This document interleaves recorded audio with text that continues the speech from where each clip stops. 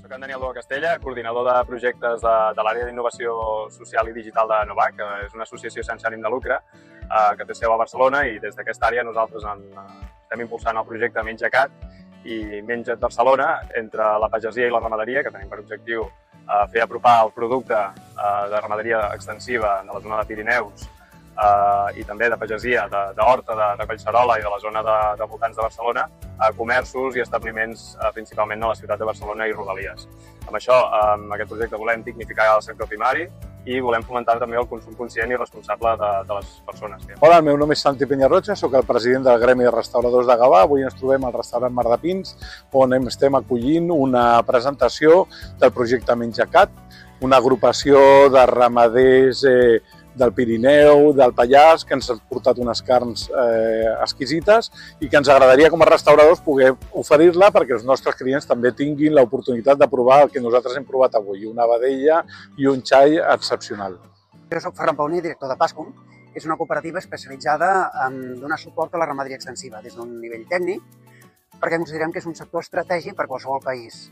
Eh, llavors, un dels projectes que vam anar portant a terme des de fa, des de fa anys és l'Aliança Pastoral, que és organitzar tot el sector eh, amb una governança pròpia. És a dir, és un sector que ha quedat molt marginat de les polítiques públiques, no té governança pròpia i consideràvem que això era important.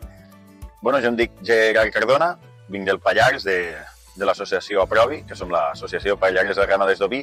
Al final vam començar com una ADS i ara som una associació que fem, pues, fem formació, fem un munt de coses per ramaders d'oví i bé, hem vingut aquí convidats perquè la comercialització és el pas que ens falta a la majoria de ramaders, que és acabar d'arribar al consumidor final, ja sigui restauració, ja sigui una, un particular, perquè puguin valorar el producte, perquè puguin conèixer la persona de la que estan comprant i perquè puguin donar un valor afegit en aquest producte que ells estan consumint. Soc Martí Riols, de la Federació Catalana de la Raça Bruna dels Pirineus. Agrupem doncs, gairebé 300 eh, ramaders arreu de, de Catalunya, però bàsicament de, del, Pirineu, del Pirineu català, de, de vaques de, de, la, de la raça bruna, que criem amb extensiu i que després eh, bueno, una part de, dels ramaders doncs, fan comercialització de, de la seva carn d'una manera directa o de vegades doncs, indirectament a través d'algun intermediari. Soc el Víctor de Castro, eh, un dels socis de la cooperativa de treball rural de Collserola nosaltres estem a Sant Cugat, eh, produïm actualment 3 hectàrees d'horta. Nosaltres fem distribució a través de diferents canals, eh, principalment eh, tenim una botiga física a Valldoreig i després fem repartiment de cistelles a diferents municipis de l'àrea metropolitana i justament eh, gràcies a Novac eh, ens estan ajudant a través del programa Menjacat obrir nous punts de recollida en, en alguns d'aquests municipis i generar una major xarxa entre productors i consumidors. Soc Helena Carrasco, gerent del Gremi de Carnissers de Barcelona i Comarques. El nostre gremi el que fa és defensar i representar els interessos dels, del comerç, del comerç de la carn, tant carnisseria, xarcuteries, bolleries, de tota la ciutat de Barcelona i de tota la província intentar apropar el productor amb el, amb el comerç, perquè tenim el, a la nostra abast eh, i un avantatge que té el comerç de proximitat és que podem connectar directament amb el clientel, explicar-li el projecte. Venir a comprar les nostres botigues ja no és només una acció de compra, sinó és una experiència.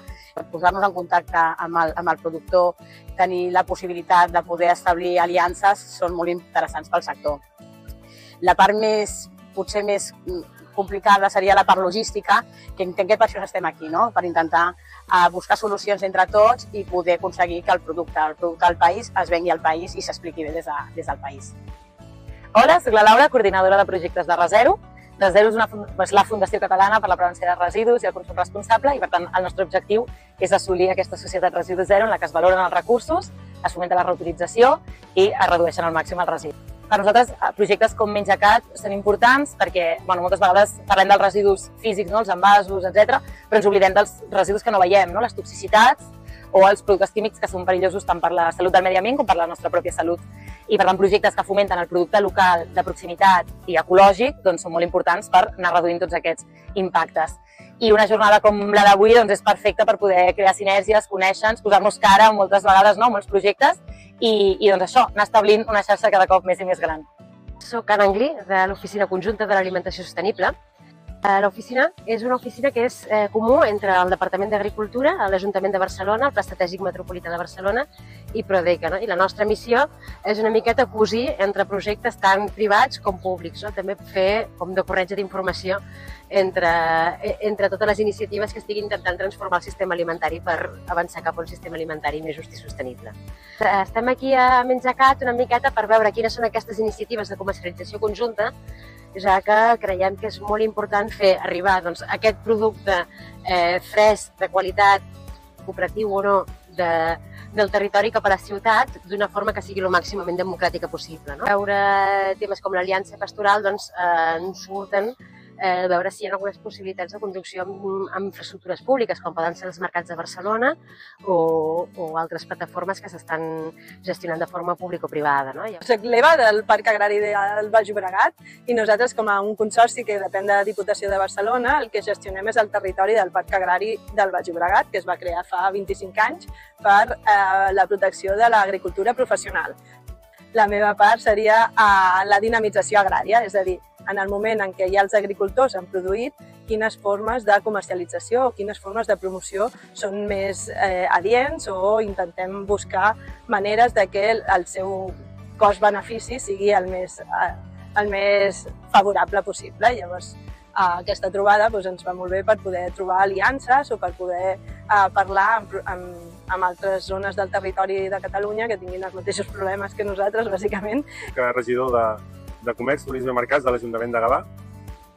Des de l'Ajuntament eh, estenem la mà per, per qualsevol tipus de col·laboració que, que necessiteu, perquè realment considerem que, que és un projecte molt interessant i des de l'Ajuntament també doncs, sempre recolzem projectes eh, on, on la sostenibilitat, on el producte de proximitat doncs, siguin eh, protagonistes. No?